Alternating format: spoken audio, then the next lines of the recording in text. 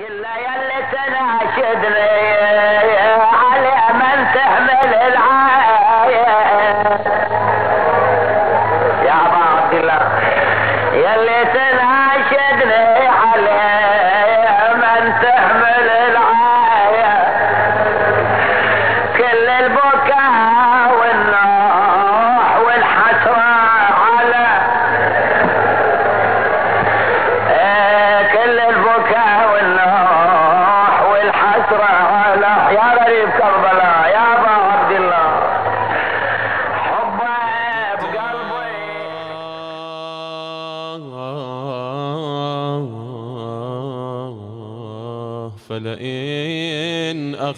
أخرتني عنك الدهور.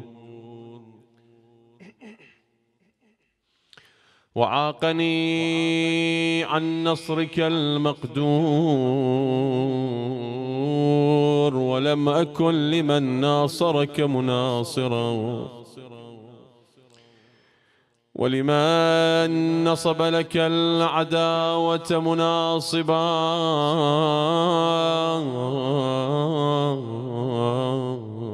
فلأندبنك صباحا ومساء.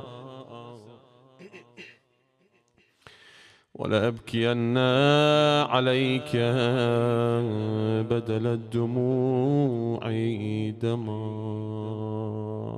صلى الله عليك يا مولاي يا أبا عبد الله.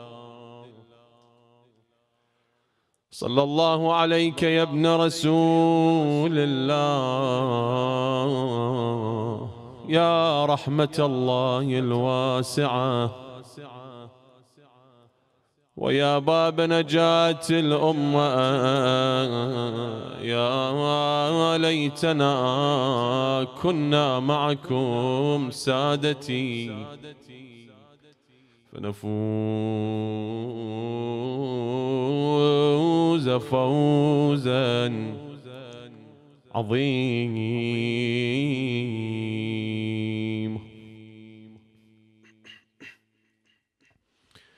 حكم الإله بما جرى في مسلم. حكم الإله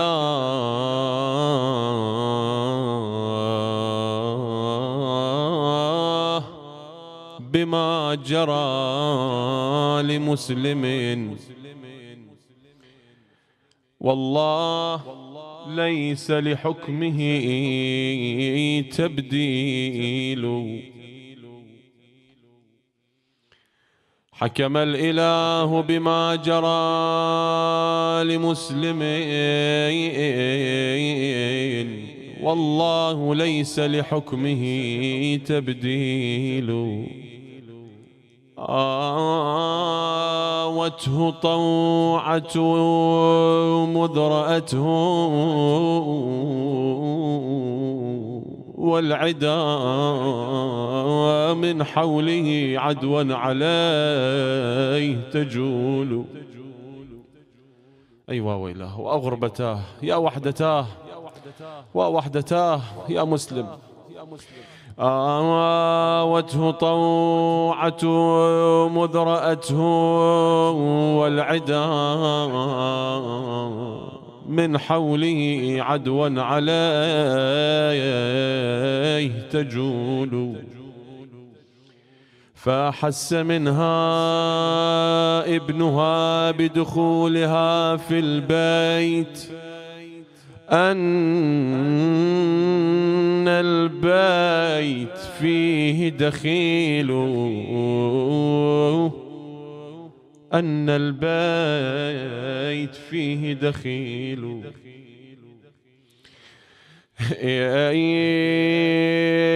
فمضى إلى ابن زياد يسرع قائلا بشرى الأمير فتى نماه عقيل فدعا الدعي فدعا الدعي جيوشه فتحزبت يقفوا على أثر القبيل قبيل. مو هو شخص واحد شكو هالآلاف تروحون على شخص واحد. ليش هالغدر والخيانة يا ناس؟ يقفوا على أثر القبيل قبيل. فأتت إليه فغاص في أوساطهم. حتى تبدد عرضها والطول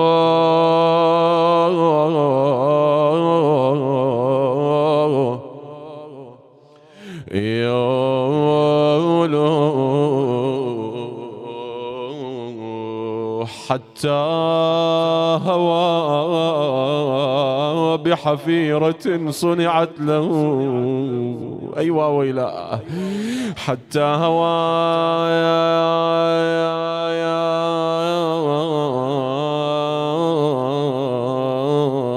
بحفيرة صنعت له. إيش صار؟ يا أهوت عليه أسنة ونصايا.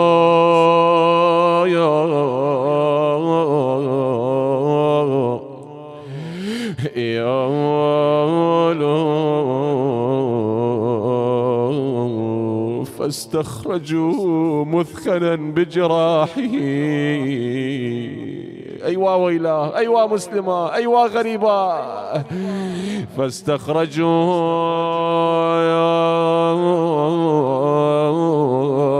مثخنا بجراحه. أيوا الجسم من نزف الجراح ثقيل.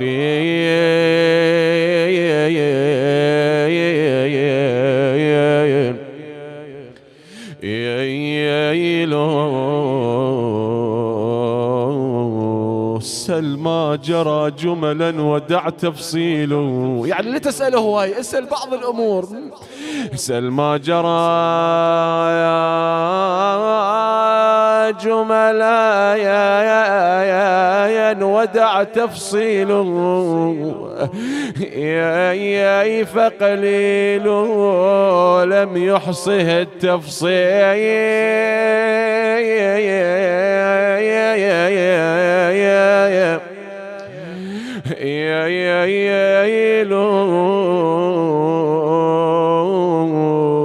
قتلوه أيوا مسلمان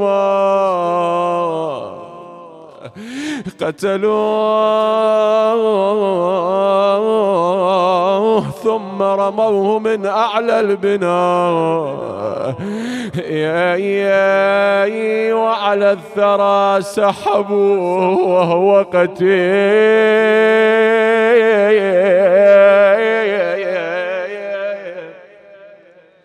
يا يا يا ويلي ويلي هالبيت راح يكسر قلبك. ربطوا برجليه الحبال ومثلوا أيوا ويلا هكذا يصنع بآل رسول الله. ربطه برجليه الحبال. ومثلوا فيا ليت أصابني التمثيل. يا يا فيا ليت أصابني التمثيل.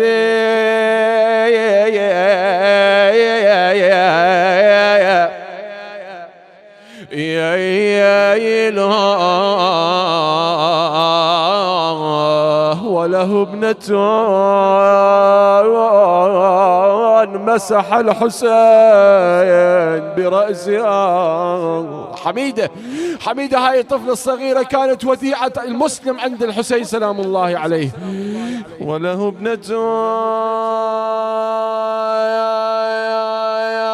ابنة أنا هنا خل أتذكر في الشغلة أقول يا أبا عبد الله أنت مسحت على رأس حميده من مسح على رأس رقية وسكينة من بعدك يا حسين.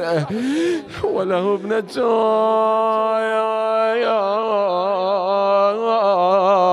مسح الحسين الحسين برأسها. يا يا والماس والماس واليوت مسح الرأس فيه دليل. يا يا يا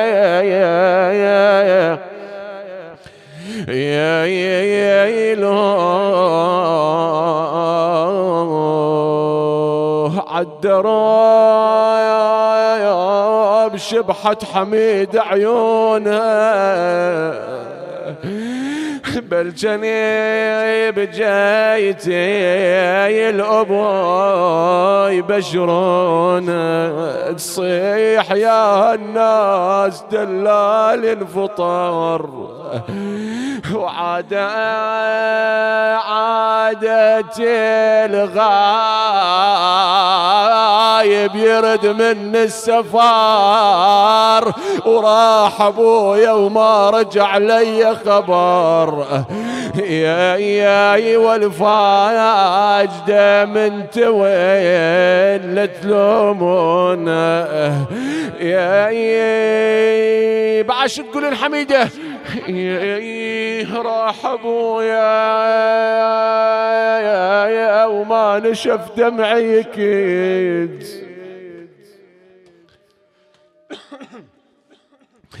راح ابويا يا يا يا وما نشف دمعي يكيت ولا نمت ساعة. على فراق أبويا ولا نمت ساعة يا يا ولا ساعة جعت.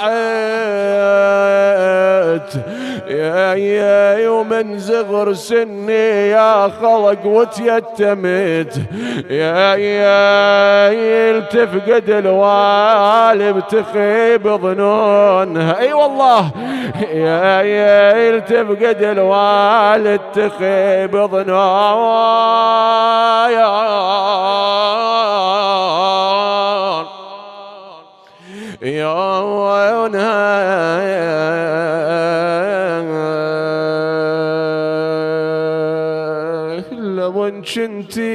كنتي يا حميدة حاضرة وعينك تشوف بأبو إيش صار وجرى. جثته بضرب السيوف. ممثلوا بمسلم ها في الكوفة مثلوا في قطع وتقطيع.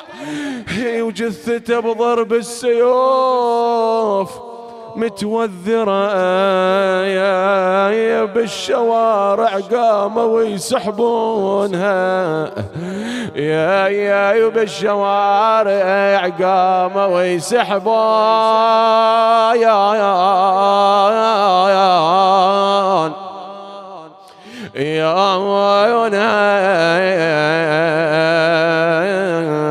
إنا لله وإنا إليه راجعون.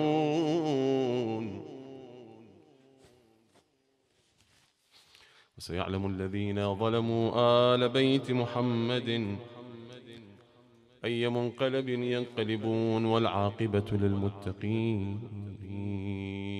تستبشر الملائكة إذا رفع المؤمن صوته بالصلاة على محمد وآل محمد.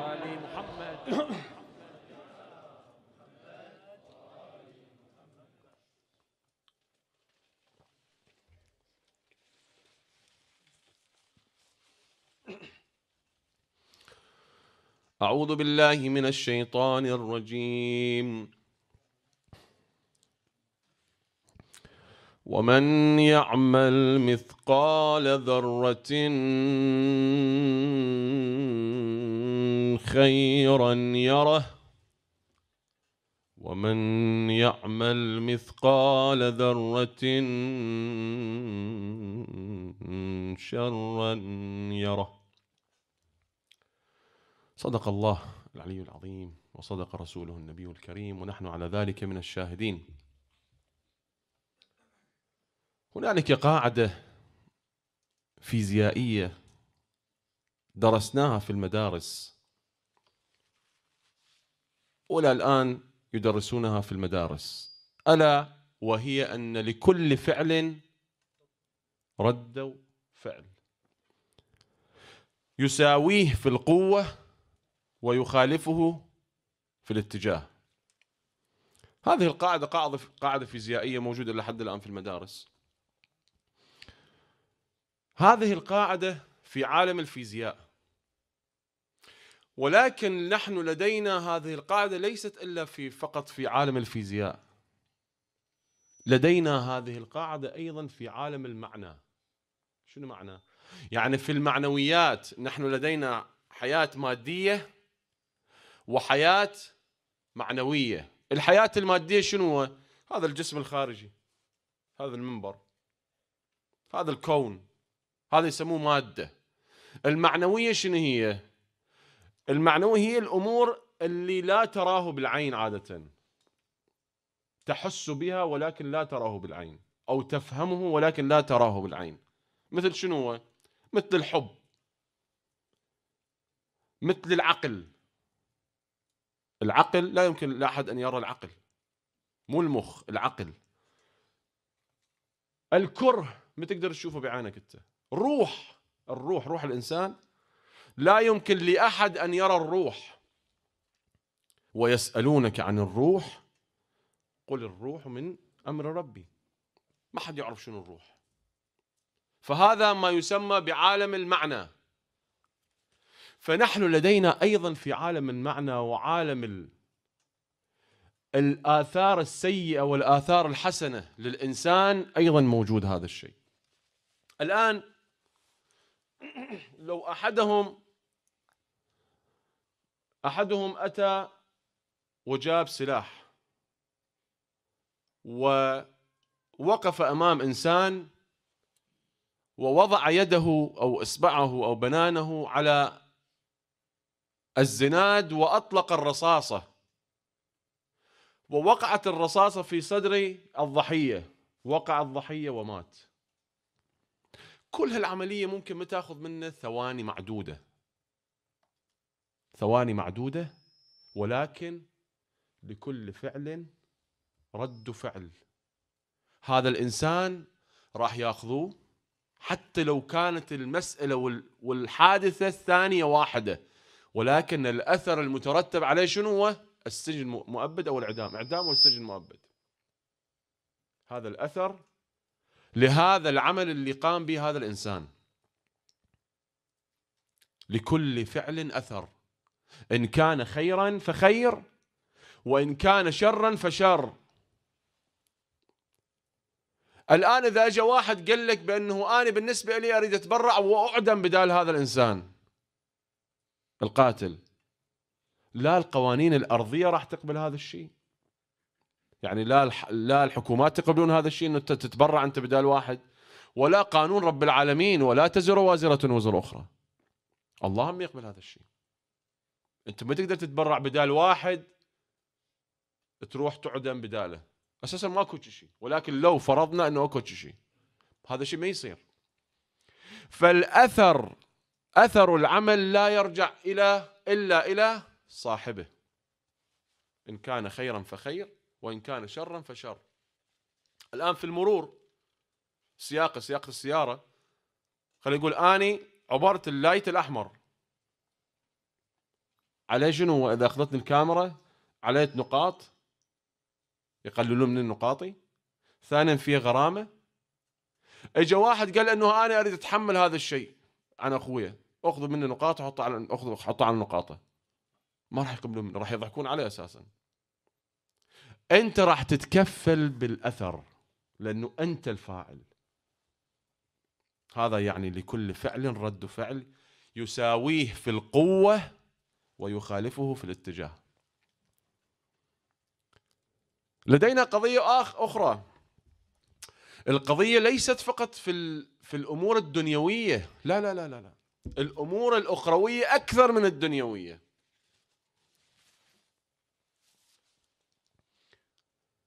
الآن إذا أكو واحد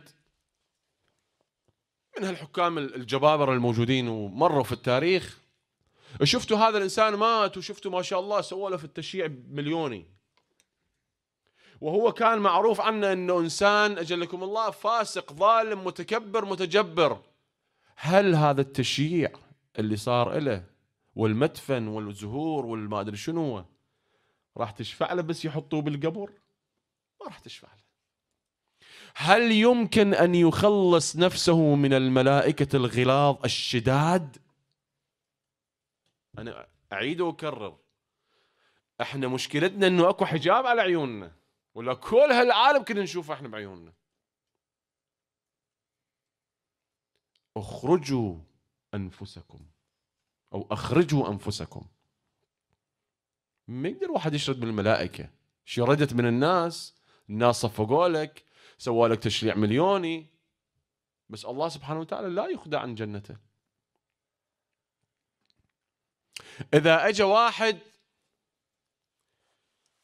وفي الحياة ادعى بأنه هذا الكتاب إلي وهو كتاب مسروق أنه أنا أجيت وسارق لي كتاب معين. وأجي أقول هذا الكتاب أنا ألفته. على الناس راح تعبر عادة. ولكن إذا القوانين الأرضية وحقوق الطبع والنشر copyright إذا عرفوا بهذا الشيء راح يوقفوه ولكن إذا ما عرفوا راح تعبر على الناس. ولكن هذا في سجل أعمالك. لا ما راح يسجلوا لك هذا الشيء. كن على يقين. لو كتبت وطبعت مليار نسخة من هالكتاب المسروق. راح يرجع إلى صاحبه من الممكن أنه اني أكذب على واحد ولكن على الله هل ممكن واحد يكذب؟ لا وما يلفظ من قول إلا ولديه رقيب تدري عن شنو عتيد؟ يعني هو الروايات تقول يعني أسرع ما يمكن أن يخلقه الله للحساب يعني دقيق وسريع جدا. إن اللفظ الإنسان إيش قد يأخذ من عنده؟ بسم الله الرحمن الرحيم. إيش قد اخذ من عندي؟ اخذ النص الثانية ما أخذت من عندي شيء. يقول لك هذا كتب لك إياه بالتفصيل شلون صعد ونزل الآيات شلون صعدت ونزلتها أنت. كله مكتوب. إنا كنا نستنسخ ما كانوا يعملون. النسخة الأساسية الله يقول عندنا موجودة. أنتم عندكم الكوبي. جاي تشتغلون بها هسه. فإذا اجى واحد وادعى بأنه هذا الكتاب إلي إذا اجى واحد وادعى بأنه آني فلان فلان وهو كاذب على الناس تعبر ولكن على الله ما يعبر هذا الشيء. حاشا لله. لذلك الحسين سلام الله عليه في يوم عاشوراء في إحدى خطبه خطبه قال إن الله لا يخدع عن جنته. أنت ممكن تعبر دولة معينة بجواز مزور. وتعيش وتعبر عليهم. بس ما تقدر تعبر الجنة بجواز مزور. هذا مستحيل. عملك راح يكون عفوا آه ثواب عملك وأجرك يوم القيامة راح يكون من قماشة العمل مالتك. شنو كان أعمالك؟ أعمال أعمال حسنة؟ قدمت شيء جميل في الحياة؟ كانت حسنة؟ ومن يعمل من الصالحات من ذكر أو أنثى وهو مؤمن الله يقول. شرط رسول الله يقول شرط دخول الجنة الإيمان بالله سبحانه وتعالى. إذا إنسان ما كان مؤمن بالله وبما جاء من الله من رسل وأنبياء وأوصياء الأنبياء فإذا صلى باليوم مليون ركعة هذا صلاته كلها هباء منثورة. هذا الإمام الباقر يقول. يقول لو صلى وعنقه انقطع. يعني قد صلى وركع وليس في قلبه حبنا حبنا أهل البيت أو ولايتنا أهل البيت فلا يدخل الجنة. الشغلة مو كيفنا أكو package كامل لازم من الله سبحانه وتعالى. إما تمشي على ال package اللي الله نزله وإما نكون مثل مثل إبليس لا سمح الله.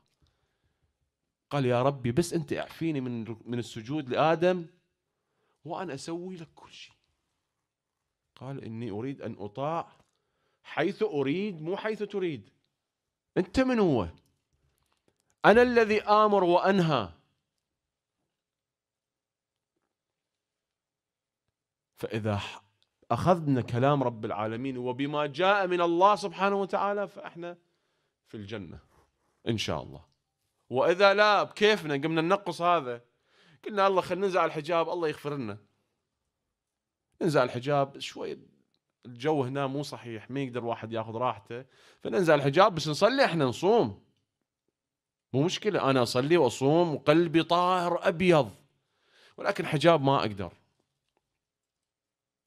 شنو تجاوب رب العالمين والله الله ما يقول والله إحنا المكان ما عندنا بالجنة. واحد لازم يكون عنده جواب. بعض الكلمات حساسة ولكن حقيقية. أنت راح تدخل الجنة بسبب عملك. أنت انظر في الدنيا شلون كنت إن الإنسان على نفسه بصيرة ولو ألقى مع الصبح لا يقول لي أنا لا مو الشكل هو يعرف شو مسوي. هو يعرف إذا هو من أصحاب الجنة أو لا. الحر بن يزيد الرياحي في كربلاء قال في كلمة جدا عالية جدا جميلة. شنو قال؟ أخير نفسي. ما قال أصحابي شو يقولون؟ قول أخ... أنا عرفت شو الحقيقة أخير نفسي بين الجنة والنار. فوالله لا أختار على الجنة شيئا. عرف الطريق. لذلك راح مع الحسين في آخر ساعاته. إذا ما كان مع الحسين كانت تشمله اللعنات إلى يوم القيامة مع جيش يزيد. ولكن الله سبحانه وتعالى ألهمه الهداية خلال ساعة واحدة انقلب من جهنم إلى الجنة. والآن صار عنده مرقد ما شاء الله في كربلاء والناس يزوروها. في الأيام الأخيرة من شهر صفر الناس يروحوا له مشاية النساء بكثرة. فقط لأنه ساعه كان مع الحسين. شوف أنت أنت انظر الارتباط بالله سبحانه وتعالى وبأولياء الله شو يسوي الإنسان؟ ساعة واحدة انقلب من جحيم رب العالمين إلى الجنة. فأنت انظر الله وين حاطك. عملك هل لله؟ هل تعمل بما أراده الله؟ أو مسوي لك دين بكيفك؟ أكو ناس هواي مسوي دين بكيفهم. سيدنا أنا خلي شوي أشرب. شوية بس آخر الليل. شوي تعبان أني. قول اشرب براحتك هي جنتك ونارك. مو شغلي يعني هذا. بس أنا أقول لك اللي يشرب الخمر فهو من من فساق يعني بعد ما ما بي كلام هذا الشيء. يعتبر فاسق. أنا خلي أنزع سيدنا صراحة كم كم مرة تكلموا مع بعض النساء؟ قالوا سيدنا أنا ما أقدر. قلت له أنا ما أقدر. هواي أمور ما أقدر أسوي. أساسا الإنسان ما يقدر يسوي شيء. خلق الإنسان من عجل. إنسان ضعيف. خلق الإنسان ضعيفا إذا الإنسان ما يضغط على نفسه ما يسوي شيء. فأني لازم أقول أني أريد أسوي مثل ما الحر بن يزيد سوى. إني أخير نفسي. هسه انت متى تحطين حجاب؟ براحتك أختي. مو مشكلة. هذا دين أنت جالس تصنعيه براحتك. دين صنعتيه لنفسك. ما ضغطت على نفسك؟ الزهراء عليه السلام وزينب سلام الله عليها. والمشكلة وين؟ أنا طبعا كلامي هذا مو منعا لحضور النساء أهلا وسهلا بهم. المجلس مجلس الحسين بيت الحسين مو بيتي هذا. الحسين يدخل كل الناس. ولكن تقول أنا بالنسبة لي سيدنا أصلي وأصوم وألطم وما شنو بس ما أقدر ألبس حجاب. ليش؟ يقول ما أقدر ويا صديقاتي أقعد. ولا تقعدين. كم من الناس المؤمنين بقوا بدون أصدقاء. وعلى رأس القائمة أمير المؤمنين صلوات الله وسلامه عليه. الحسين سلام الله عليه إحنا حاضرين في في مجلس ومأتمة الآن. قال إن الدعي ابن الدعي قد ركز بين اثنتين. يعني قال سووا يا هذا لا هذا. كان يقول له إيه أروح وياك. ويزيد كان يمضي له يزيد خليفة المسلمين. تدري شو شنو كان يصير الحسين؟ كان يصير هو بدال يزيد. ولكن ما بعد آخرته بدنياه الحسين سلام الله عليه. قال إن الدعي ابن الدعي قد ركز بين اثنتين بين السلة. السلة يعني ضرب بالسيف يعني يسل السيف. بين إنه أسحب السيف وأقاتل وبين الذلة. وهيهات من الذلة. يقبل الله لنا الله ما يقبل أنا مش شلون أقبل؟ الله ما يقبل اللي اني أنا كإنسان مؤمن يقبل الله لنا ذلك. فمو فرد موضوع ذا واحد ما صار أصدقاء. إذا تقرون الكل ما شاء الله في شهر رمضان يصير قريب من الله سبحانه هذا واحدة إحدى النعم طبعا نعم الكبيرة. إذا تقرون دعاء جوشن كبير في إحدى مقاطعه يقول يا حبيبة من لا حبيب له. يا صاحب من لا صاحب له. شنو. المشكلة إنه بعض المعاني من ما راح ينعرف. ما راح تنعرف عفوا. ليش؟ لأنه ال... الإنسان ما عنده قابلية. هسه هاي القابلية هاي هاي الكاسة هنا قابليته هالقد. تيجي تحط بيه قابلية في تنكر ماي هذا ما راح يتقبله. راح يطايف برا. شلون تجي القابلية؟ شلون الإنسان يصير عنده قابلية لفهم الكلمات؟ إحنا ليش ندعي ومن الله ما يستجاب لنا؟ لأنه ما جاء نفهم شو جاي نقول. لا نفهم ولا نفقه ما نقول. الإمام الرضا صلوات الله وسلامه عليه صلوا على محمد وآل محمد.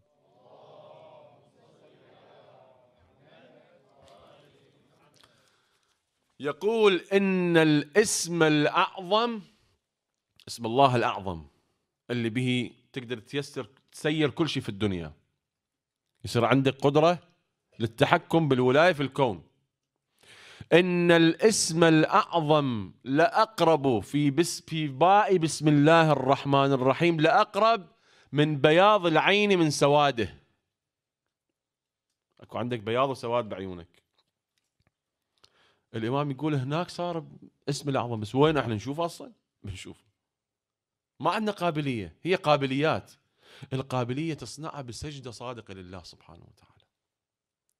أنا أقولها وأنا على ذلك زعيم.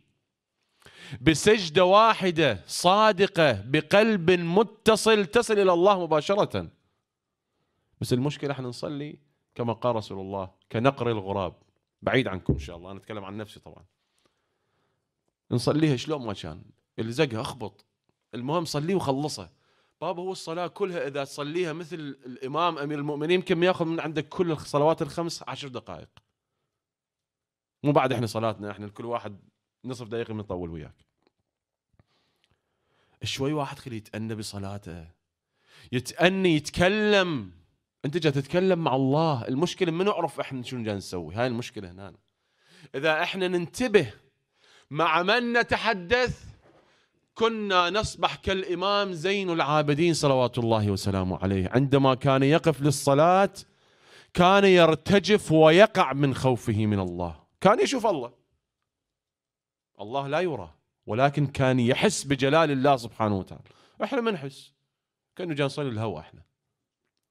لذلك ما يأثر بينا الكلام. لما يقول لك الإمام أو الدعاء يقول لك يا حبيب من لا حبيب له هي حقيقية. موضوع حقيقي أكو حبيب بالموضوع حب. حب ولكن مو الحب الفاشل اللي إحنا نحبه في الدنيا. الحب النقي الطاهر الأبيض. وين الناس من الملاقات الحقيقية اللي يصير بين العبد وبين الرب؟ وين الملاقات اللي كان يصير عند أمير المؤمنين؟ اللي زهراء تقول له غشوات يقع كالخشبة الجامدة أو اليابسة. وين إحنا من هذا الشيء؟ كان يغمى على أمير المؤمنين سلام الله عليه. إحنا هو مو كان يصلي صلاتنا كان نفس الصلاة يصليها صلاة الصبح ظهر عصر مغرب وعشاء ومع مع النوافل. بس لما كان يصليه كان يعرف شو يقول. نرجع لموضوعنا.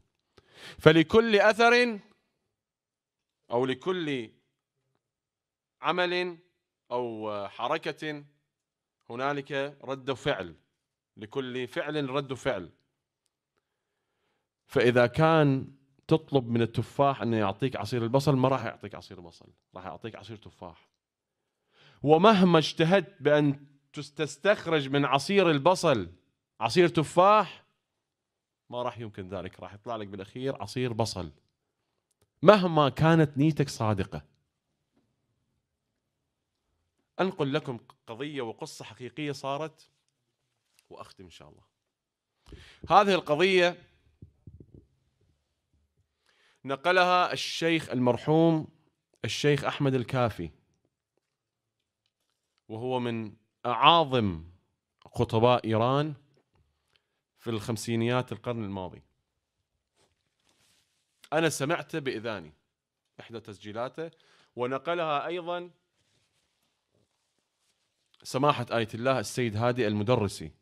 أطال الله في عمره. كذلك هو نقل لي هذا الموضوع. يقول الشيخ أحمد الكافي يقول أنا سمعت سمعت السيد ميرزا حسن الشيرازي صاحب ثورة التنباك اللي كان زعيم الشيعة في سنة 200 1280 هجرية. تزعم زعامة الشيعة في سنة 1200 وواحد هجرية.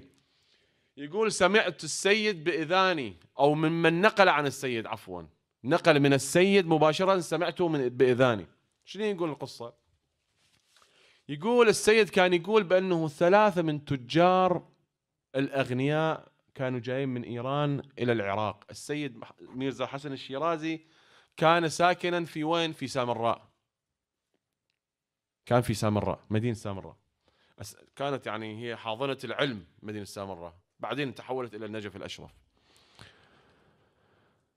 يقول هذول الثلاثة من التجار أجوا من إيران ومعهم أموال كثيرة. جايبين مجمعين تبرعات من الناس من المدن الإيرانية.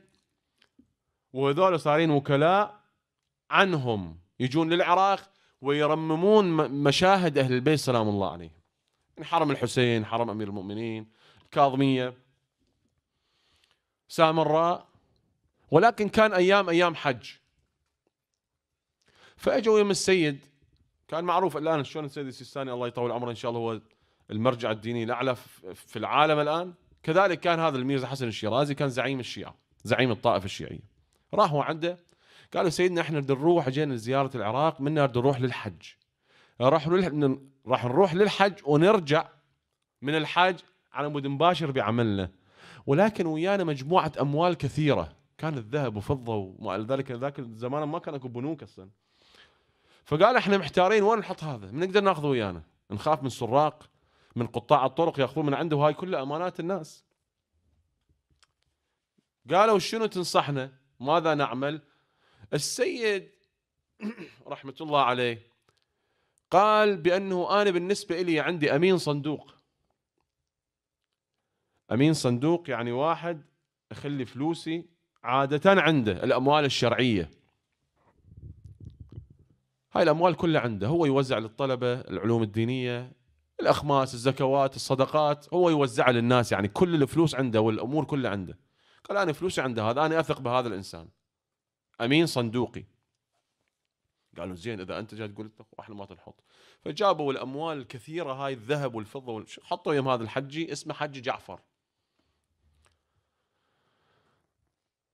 حطوا الفلوس راحوا للحج. في ذاك الزمان الحج ما كان مثل الزمان هذا. نروح ساعتين نوصل للسعودية وفوقها نمن نبقى اسبوعا ونرجع البيت نقول إيش قد كان الحج صعب وما أدري شنو وما أعطونا أكل ما مرتب وكله كانت حاره الحج كان فيه يعني وصايا كان الحج لما كان يطلع كان يكتب وصيته. كان ثمنه الموت بعض الأوقات. كثير منهم كان يرجع كان يروح للحج ما يرجع. يضيع يتيه في الطريق صحاري. لا أكو GPS ولا أكو دليل ولا أكو شيء. صحاري يقول لك المنزل هنا المنزل الثاني هناك لازم تتبع المنازل لحد ما توصل إلى منطقتك. فراحوا الجماعة للحج طول وياهم روحتهم ليتهم ست اشهر حوالي ستة أشهر. رجعوا إلى العراق إلى سامراء وإذا بحج جعفر متوفي. يا الله شو نسوي هسه؟ من وين نجيب فلوسنا راحوا يم السيد. سيدنا ماذا نعمل؟ هاي أمانات الناس. قال حجي جعفر والله ما أدري. خلينا نسأل أولاده. أولاده موجودين. أو إجوا أولاده. قالوا أبوكم عادة وين يحط فلوسه؟ قال أبونا عنده في الدفتر. يحط أسامي بي فلان الفلاني هالقد فلوسه هالقد قروض قروض وهكذا. قال جيبوا لي الدفتر. جابوا الدفتر شافوا اسم التجار موجود. التاجر الأول اسمه موجود والمبلغ هذا وقديما مثل ما ذكرت ما كان أكو بنوك. كانوا يحطون الأمور الأموال مالتهم كانوا يدفنوه بالأرض أو كانوا يدفنوه بالحيطان. ما أدري ملحقين أنا سامع هذا الشيء. كانوا يدفنوه بالصحراء كانوا يحطوا له علامة معينة. يروحون وراه بعدين يجيبوه. ف شافوا اسم هذا الحج موجود مثلا هذا الحج فلاني حج علي فلوسه موجود في البستان الفلاني بجانب الشجرة الفلانية. الحجي محمد مثلا أمواله هناك بجانب الشجرة الثانية. الثالث كل ما يدورون على اسمه ما موجود. عجيب. وهو كان الصاحب المال الأكثر. يعني أكثر أمانات كان لهذا الإنسان. شو تسوي السيد باوع لهذا التاجر. قال له تقدر تعفي عنه؟ قال له سيدنا شلون أعفي عنه؟ هذا مو فلوسي. هذا أموال الناس. الناس مأمنين على هالأموال. إذا رحت هناك قلت الأموال ضاعت أو صاحبه ميت وراح فلوسني هذول راح يقول لك أنت من يقول لك تروح للحج أصلا. إحنا ما دزيناك تروح للحج إحنا دزيناك تروح تسوي ترمم المراقد المقدسة. من يقول لك تحط لي فلوس مكان؟ أنت مسؤول وأنت الضامن كما في في الفقه. فقال ما أقدر أني صراحة ما أقدر أسوي شيء. شلون أعفي عنه أني؟ قال زين أنا ما عندي حل إلا حل واحد. السيد رحمة الله عليه الميرزا حسن الشيرازي. قال له راح أعطيك فرد رواية عفوا النص آية قرآنية أو آيات قرآنية وأدعية معينة. إحنا ما عندنا أي طريقة بأن نصل للأموات إلا في عالم الرؤيا. الإمام الصادق صلوات الله وسلامه عليه يقول مضمون الرواية أن المؤمن الميت يزور أهله في الأسبوع مرتان وفي رواية كل كل يوم وأقلها في الأسبوع مرة يزور أهله. بإذن الله المؤمن. فالله سبحانه وتعالى برحمته يريه حسنات أولاده. يعني أولاده شو جالسون في أعمال حسنة؟ يساعدون ما إلى ذلك يدرسون يصلون يدعون. الله يخليه يشوف هذا الأعمال. الأعمال اللي جالسون الحسنات الميت يشوفه بعكس ما يراوي أي نوع من السيئات من الأولاد رحمة بهذا الميت. يعني ذاك فد شيء الولد جاي يسوي مو صحيح إحنا خو ما نشوف الأموات؟ أرواحهم ما بنقدر نشوفها إحنا. هو يشوفنا إحنا من نشوفه. الأعمال السيئة ما يراوي لهذا الإنسان المؤمن الميت. عكس بالإنسان بالنسبة للإنسان الفاسق الإمام الصادق يقول. يقول عقابا وعذابا للإنسان الفاسق الله سبحانه وتعالى لا يريه حسنات أبنائه. يريه سيئات أبنائه لكي يحترق أكثر. فالأموات الطريق الواحدة بأن نصل إليهم إذا الله سبحانه وتعالى أذن لنا ولهم بأن نراهم في المنام فقط. طريقة ثانية ما موجودة فقال أكو طريقة واحدة إنه تروح اني سامع وقاري في روايات أهل البيت بأنه أرواح المؤمنين تجتمع وين؟ في وادي السلام. عند سيدهم أمير المؤمنين صلوات الله وسلامه عليه. هناك بعد آدم موجود نوح موجود هود موجود صالح. يعني الأنبياء هناك بعد المؤمنين شلون حيث تجمع المؤمنين. أمير المؤمنين سلام الله عليه من مر من صفين. قال والله لأني أراهم حلقا حلقا. يعني قاعدين حلقات المؤمنين. بوادي السلام. طبعا هي من أقدم مقابر العالم. إذا آدم موجود به فيصير أقدم بعد صح ولا صح؟ هي أقدم مقبرة في العالم مقبرة وادي السلام. فقالت تروح إلى مقبرة وادي السلام وحج جعفر هناك مدفون. تقرأ الآيات والأوراد. إذا الله عطف بك وأراد بك الخير راح يشوفه في منامك. قال سمعا وطاعة راح إلى النجف زار أمير المؤمنين صار ليلة الجمعة قعد على قبر حاج جعفر مثل ما عرفوه المكان. قعد يقرأ الآيات والأوراد. صار نص الليل صلى صلاة الليل صلى صلاة الصبح غفى ونام على قبر حج جعفر. هذا قعد شاف ماكو ما شاف شيء. ما شاف شيء. قال عجيب شنو صارت؟ شو السيد قال لي هذا تشوفه. قال خليني أبقى بعد أسبوع. بقى بعد أسبوع. بقى بعد أسبوعين ما شاف حجي جعفر. عجيب. هذا دخل الشك في نفسه تجاه السيد هالمرة. إنه السيد معقول جاي يكذب علينا. شوف الشيطان لما يدخل شلون أبواب عنده. يقول خليني أرجع للسيد وأقول له اللي صار وياي. رجع للسيد سيدنا أنت قلت لي راح أشوفه. شو ما شفته ثلاث أسابيع اني يقول السيد هكذا هيك يروون القصة. يقول السيد ضرب إيده على إيده قال آه. حج جعفر مغلل مبتلى. الله أكبر. حج جعفر. أمين صندوق. ميرزا حسن الشيرازي زعيم الطائفة معقول؟ قال حج جعفر روحه ما موجود بوادي السلام. مو ويا المؤمنين. عجيب. قال إذا كان حقيقة كان في وادي السلام كنت لازم تشوفه أنت. ما شفته يعني ما موجود في وادي السلام.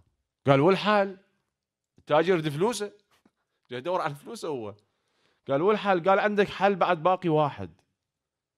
إذا تريد تريد جواب لازم تسوي إذا عندك قدرة. قال لي شنو سيدنا؟ قال لازم تروح إلى وادي برهوت منو سامع بوادي برهوت شباب.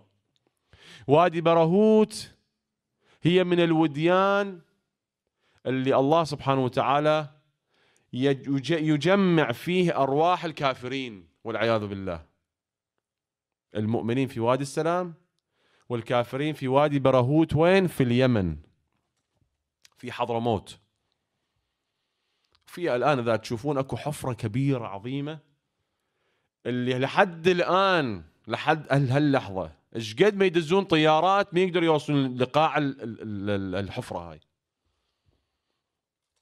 الطائرة أو الدرون تدخل داخل بعد ما ترجع لفوق. فالشيء مو طبيعي ما أدري شنو هو. هسه يفقد الجاذبية ال gravity ما أدري صراحة ما أعرف شنو شيء غريب. هذا كلام أهل البيت سلام الله عليهم. واد تجتمع فيه أرواح الكافرين قبل يوم القيامة. قال سيدنا روح ما عندي حل. يعني هاي بعد أموال ما أدري يعني لازم أحل الموضوع. مو مو دولار دولارين يمكن ملايين كانن.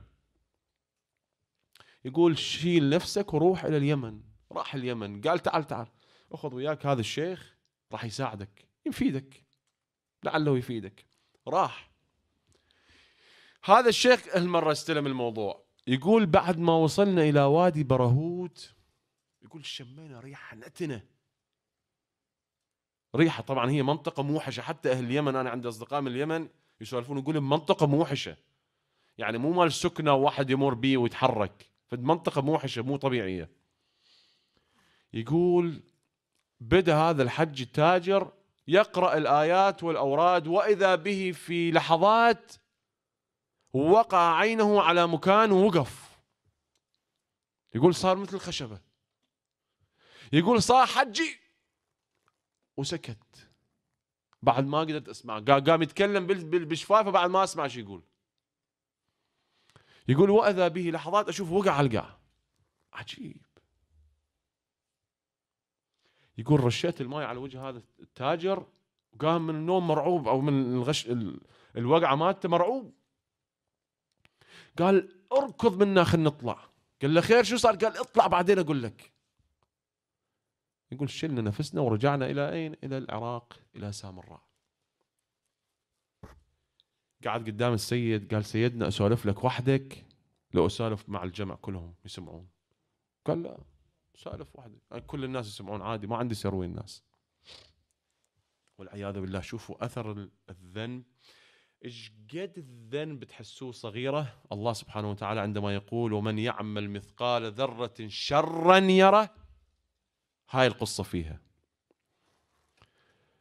يقول سيدنا اني أول ما بديت بقراءة الآيات والأوراد وإذا بلحظة انكشف الغطاء عن وجهي.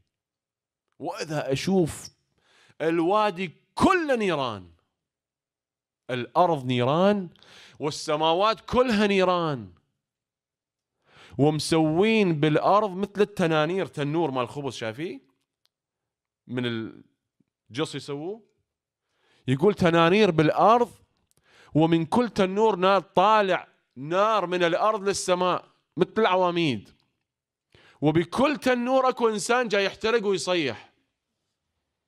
ويقول واذا بي أشوف اثنين من الملائكة هذول اللي نتكلم عنهم الغلاظ الشداد يقول اثنين شكولهم قبيحة ريحتهم نتنة تقربوا إلي وشالين تنور جابوه يمي فد مرة طلعوا واحد قام يصيح يا فلان يا تاجر ترى فلوسك بهذاك البستان بصف صديقك هناك أنا نسيت اكتب اسمك بس قول للسيد خلصني من جاري القصاب يقول اراد يتكلم جروه مرة ثانية حطوه. بالتنور. السيد قال له شنو يعني جار القصاب قال أنت خص عرفت فلوسك وين؟ تمام. هسه عندنا مشكلة ثانية تعال نحلها. حجي جعفر. شنو جار القصاب؟ قال جيبوا لي أولاده. إجوا أولاده. قال عمو شنو عندكم جار قصاب؟ يعني لحام يبيع لحم؟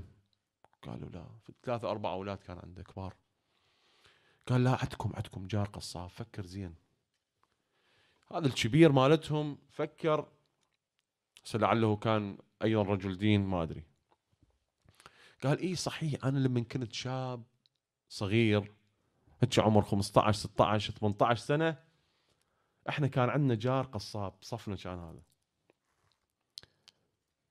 قال زين شنو وين هذا؟ قال ما أدري بس نرجع نروح نشوف المنطقتنا القديمة. راحوا دوروا عليه لقوه.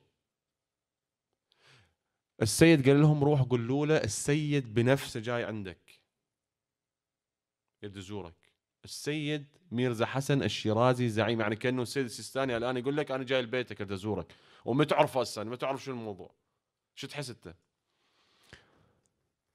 يقول هذا قال يريد مني الميرزا وين اني وين الميرزا؟ الميرزا حسن الشيرازي الرؤساء كانوا يجون عند بابه وكان يطلعهم من الباب. ما كان يستقبل أحد. مثل سيستاني شلون استقبل الباب وهو ما مهتم أصلا. مقام السيد وين وبابا وين؟ مقام رباني من الله سبحانه وتعالى على كل حال. يقول قول قولوا له إنه السيد جاي بنفسه يريد يزورك. راحوا قالوا له هذا استعد وكيف. السيد جاي يزورنا قام ينظف بيته اجى السيد عند الباب طرق الباب مع مجموعة من طلبته. فتح الباب السلام عليكم سيدنا تاج راسي مولاي. قال له سيد قبل ما أدخل إلى بيتك وضع عفوا قدمه بين الباب وبين الخروج. يعني لا هو داخل ولا هو هو هو برا. قال لي قبل ما أدخل إلى بيتك أريدك تعفي عن حج جعفر. قال لي ما راح أعفي عنه. الله أكبر. هاي صارت شغلة حقيقية هاي العاد. قال لي ليش بتعفي عنه؟ قال لي تريد أقول له قدام الناس؟ لا تتفضل داخل سيدنا. قال لا تفضل يلا. دخل داخل. قال سيدنا أنا صراحة أيام شبابي كان عندي جاري كان حجي جعفر. هذا اللي تكون يسموه حجي جعفر. أنا كان عندي بنية شابة. وكان عندي صديق وعملي كان قصابة قصاب. جزار يعني. كان عندي صديق يجي من الموصل يجيب لي أجلكم الله خرفان. من صحراء الموصل وما أطراف الموصل. فيقول هاي كل مدة بمدة كنت أكتب رسالة يجيب لي يعني حيوانات على مود يصير عندي يعني أذبح وأبيع. يقول يوم من الأيام هذا القصاب عفوا هذا اللي كان عنده من موصل يجي صديقه قال أنا بالنسبة لي صار أكو صداقة بيناتهم صار يعرف إنه عنده بنية وش اسمه. فقال أنا أحببت إنه أطلب لابني ايد بنتك القصاب بنت القصاب يعني. الموصلي يقول ارد آخذ بنتك لابني. هذا القصاب قال أنا بالنسبة لي ما عندي مانع. ولكن خليني أنا أسأل البنية هي نفسها وأسأل امايه شو شو يقولون هذول؟ من النسوان بعد عندهم حالات خاصة. قال مو مشكلة أخبرني. يقول هذا راح وراه بيوم يومين هذا القصاب كتب رسالة يطلب منه في مجموعة جديدة أو في مدة معينة هسه. كتب إنه إذا ممكن هل قد خرفان هل قد ما أدري معز والى والى آخر الأمور. وبالأخير كتب أو أما بالنسبة إلى أمر الزواج من ابنتنا فنحن لا مانع لدينا. يعني ما عندنا مشكلة تفضلوا. إذا تحبون تخطبون. هذا استلم الرسالة. الرساله استلمها قراها. الموافقة جت. الآن شو اللي يسوي هذا الأب؟ لابنه يروح يسال عن البنت شلون البنت؟ تفيد الولد يا ما تفيد. المن يسأل؟ جيران نسوان الجيران المعارف الموجودين بالجيران. راح بالمحلة قال له حجي جعفر هذا الإنسان يعرف الكل. ومعتمد الجميع الكل يحبوه. قال زين أروح اسأل حج جعفر. راح عند حج جعفر قال له حجينا أنا جاي أخطب لابني وأنا من موصل بعيد. ما أعرف أحد. جاي أخطب لابني ابنة القصاب جارك. شنو رأيك بالبنية؟ زينة يا مو زينة؟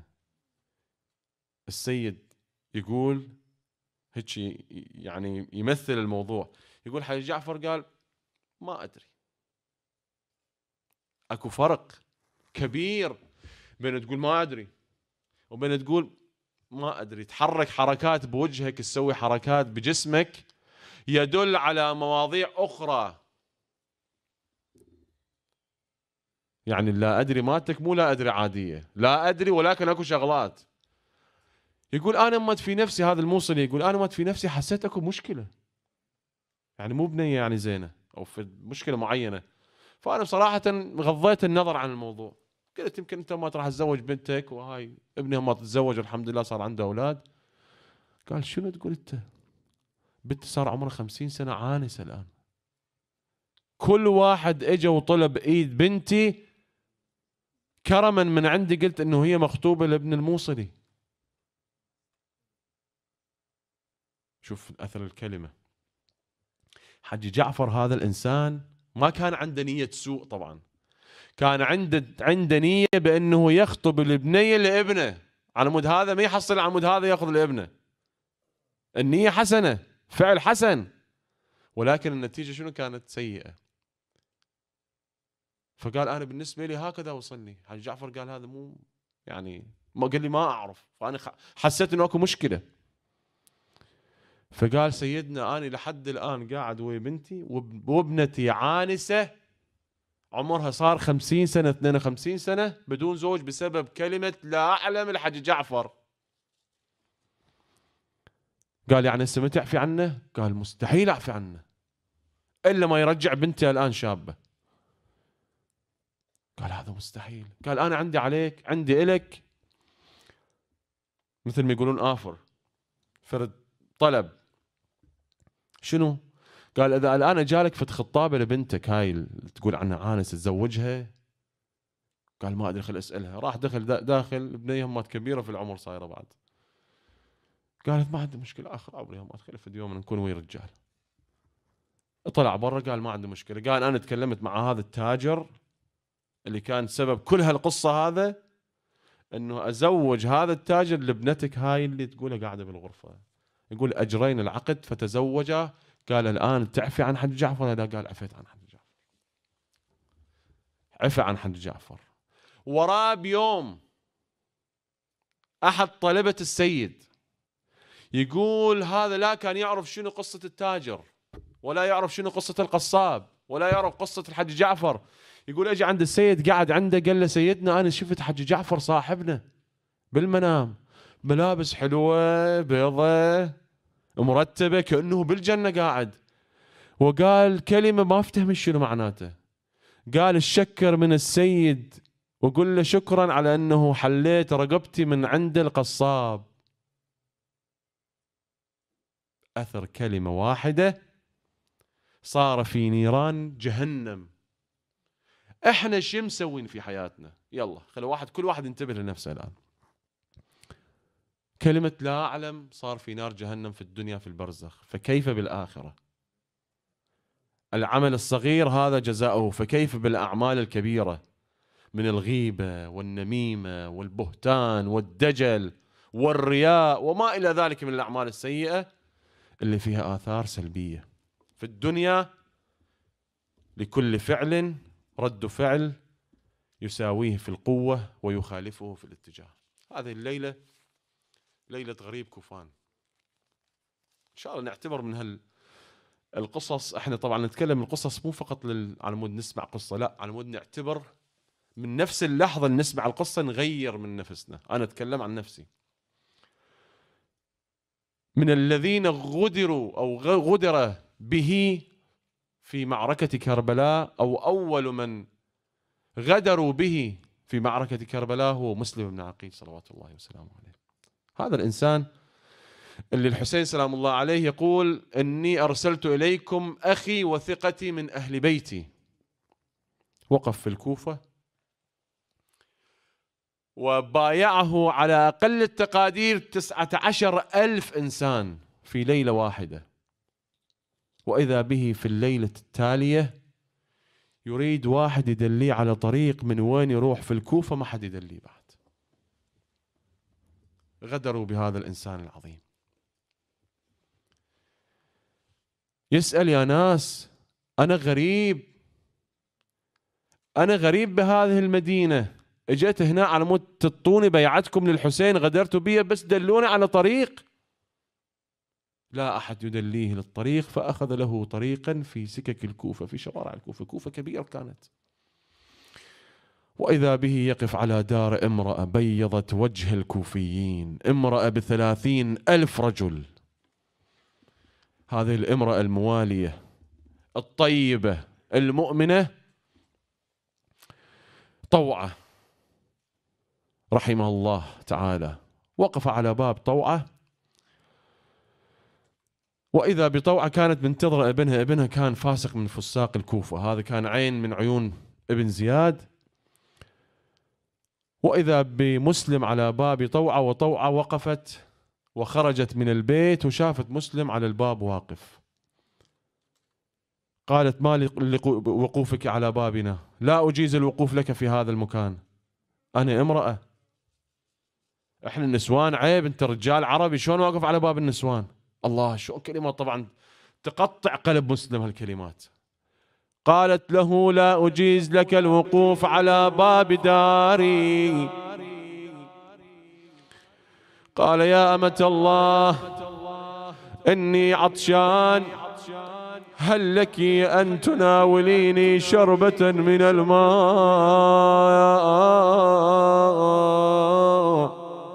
الله ما أدري شنو قصتهم وين ما أهل البيت سلام الله عليهم. تشوف الكل بالأخير يطلب ماي بالأخير ما يحصلها.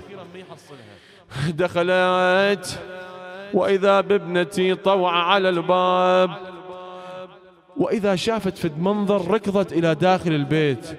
مرعوبة قالت ها يمه شنو شفت؟ شنو صاير؟ خير اذاك الرجال قالت لا يا اماه لكن عندما خرجت دخلت إلى البيت. رأيت بهذا الإنسان الجليل وضع رأسه على الحائط وانهمرت دموعه على خديه. أيوا مسلمة وغريبة.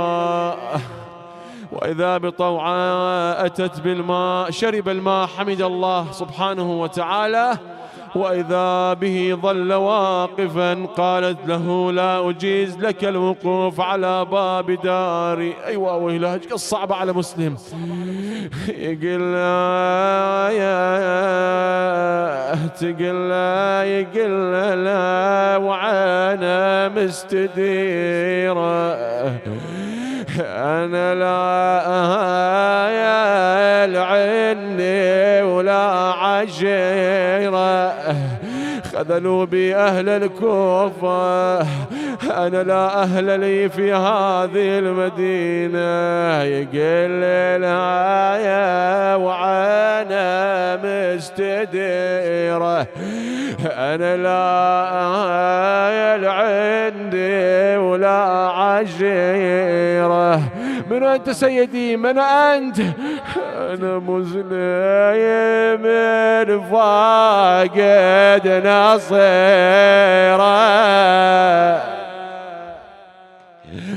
مثل حيرتي ما سدت حيرة. تقول يا غاتي ما عرفتك. يا كسرت خاطري بالباب جبته ياك تهد الحال يا مسلم غربتك قالت له سيدي أنا خادمة لك ولعمك أمير المؤمنين. تفضل البيت بيتك. دخل مسلم إلى البيت قال لها ائتيني بمالي يجدد الوضوء. وإذا بمسلم أخذ يتوضأ وبدأ بالصلاة. راكع ساجد ذاكر تالي للقرآن. وإذا به يقول لطوعه سيد طوعة أمة الله سوف أنام قليلا أفيقيني لصلاة الفجر. وإذا بطوعة تقول ما رأيته أنام قليلا. وإذا بلعين ابنها دخل البيت شاف أمها تدخل وتطلع تدخل وتطلع. شنو صاير بالبيت؟ هاي الغرفة عادة متى تدخلها أمي. وإذا به نظر إلى الغرفة وإذا رأى بمسلم داخل البيت. داخل الغرفة هرب إلى عبيد الله بن زياد وهو ينادي بشرى الأمير بشرى البشارة مسلم الذي تدور عنا موجود ببيتنا يا عبيد الله. يقول وإذا بعبيد الله هذا اللعين أمر الجيوش مو واحد مو اثنين مو ثلاثة ثلاثمائة إنسان خرجوا لمقاتلة مسلم. خرجوا إلى مقاتلة مسلم. وصلوا إلى البيت وإذا بطوعة تقول سيدي كأن الناس خارج البيت. يقول مسلم خرجت من البيت وهو ينادي أقسمت أن لا أقتل إلا حرا أقسمت لا أقتل إلا حرا وإن رأيت الموت شيئا نكرا. وإذا بطوعة من فوق السطح تنادي وطاعت صيح على السطح. شهلك سيرا يا يا. وطاعت صيح على السطح شهلك سيرا وليتك حضار تشوف يا شيخ العشيرة يا يا. ابن عمك الموثوق طايح بالحفيرة. وقادوه مثل الطير مكسور الجناحين. وإذا بمسلم أخذ يقاتلهم قتال الأبطال. وإذا غدروا به كغدرهم وختلتهم دائما وأبدا. وإذا بهم صنعوا حفيرة واحتوشوه من كل جانب ومكان. هذا يضرب بالسيف وهذا يضرب بالرمح. والنساء من على الأسطح يضربونه بالحجارة والنار. أيوا ويلاه أيوا مسلمة. وإذا احتوشوه من كل جانب ومكان إلى أن سقط في الحفيرة بالعزيز عليكم. أيوا مسلمة. وقع بالحفيرة أخرجوه مثخنا بجراحه. بعد ما كان بيحيل يقاتل ها؟ أخرجوه من الحفيرة وإذا بضربة بضربة على شفاه المباركات قطع شفته اليسرى فسال الدم على فمه. وإذا بابن الأشعث اللعين يقول رأيت مسلم وأخذ يبكي فقلت له يا هذا يا مسلم إن الذي يطلب مثل ما تطلب إذا نزل به الموت لا يبكي قال يا هذا لعنك الله ما أبكي لنفسي لمن تبكي؟ قال أبكي الحسين وآل الحسين الذين بعثتم به بالرسائل إليه بأن تبايعوه وخذلتموني وخذلتم الحسين. أخذوه مثخنا بجراحه وصل إلى باب القاص قد اشتد به العطش أيوا مسلماه فرأى كوزة من الماء جر من الماء. فأراد أن يشرب فأراد أن يشرب. وضعه على شفته فسقطت فيه ثنايا. فامتلأت ماء دما. فقال الحمد لله لو كان من الرزق المقسوم لشربنا فدخل على ابن زياد. وقال اللعين سلم على أميرك وهو يقول إنه أميرك أنت أميري حسين ونعم الأمير. بلسان الحال أميري حسين ونعم الأمير.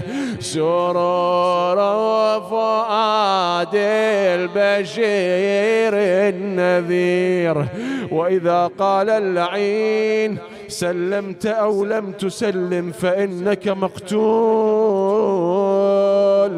فرد عليه مسلم قال قد قتل من هو أشر منك من هو خير مني وكان يقصد بابن ملجم وأمير المؤمنين صلوات الله عليه وابن ملجم وهو أشقى الآخرين كما قال رسول الله. وإذا باللعين يأمر بمسلم بأن يصعدوه بأن يصعد إلى سطح الإمارة سطح القصر. فصعدوا به إلى القصر. أيوا ويلا جهز قلبك ها. وإذا بهم وضعوه على جانب الحائط وإذا بمسلم يقول لهذا أمهلني هنيئة أصلي ركعتان وبعدها افعل ما تفعل. انظر إلى حزب الله النجباء شو يسوون آخر لحظاتهم. صلى مسلم ثم أدار برأسه إلى المدينة وقال السلام عليك يا أبا عبد الله. السلام عليك يا أبا عبد الله. سيدي لتجي للعراق ذول غدروا بينا سيدي أبا عبد الله. وإذا بالحسين بالإعجاز يسمع صوت مسلم. وقال السلام عليك يا مسلم فمنهم من قضى نحبه ومنهم من ينتظر أيوة حسينا أيوا سيدا ومنهم من قضى نحبه ومنهم من ينتظر وما بدلوا تبديلا. وإذا باللعين رفع سيفه وضربه على عنق مسلم. أي رحم الله من نادى ومسلماه أي رحم الله من نادى وسيداه. أي رحم الله من نادى وشيداه المقدار قضى وشاعت أخباره. المقدار قضى وشاعت أخباره. رموه القوم من قصر الإمارة. وهان انجتع العقبة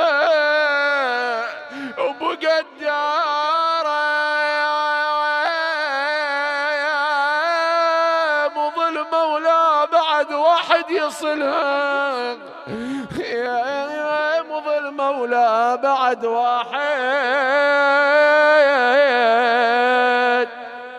يا يصلها يا يا. بيت الدعاء وأسألك الدعاء.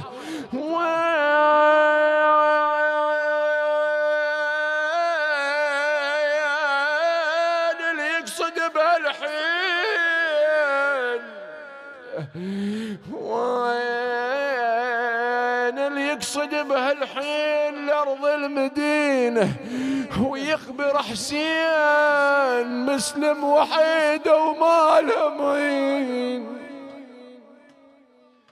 وداروا عليه القوم صابين صابين ينجار ينجار. عادة اللي يستجير يكون ينجار وعن شتله حليف الشرف. ينجار ينجار مثل مسلم صديق بالحبيب ينجار وتتباشر بشتل علوج ومية. آخر ونه يا يا وتتباشر بشتل علوج يا وجما يا يا يا يا يا إنا لله. قلنا يلي تناشدني